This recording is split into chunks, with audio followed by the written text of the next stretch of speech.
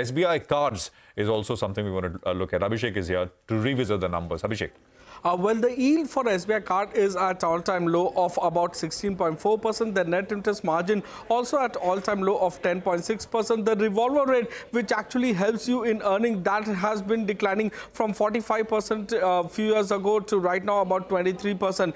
And their annualized credit costs remain elevated. It's like Maruti ad never gets over with uh, remaining on the higher side. So it's coming at 9%, which is the highest in last few quarters. HSBC has written on SBI cards reduced rating with a target price of 580 per share. They have cut the EPS estimate by 25% and there is no clarity with respect to recovery in SBI card for their earnings momentum. Uh, MOSL, that is Motilal Oswal, has also written on SBI card. They have a neutral rating, cut the target price by 100 rupees to 750 per share. They have cut the EPS estimate by 22% for FY25 and about 19% for FY26. Back to you.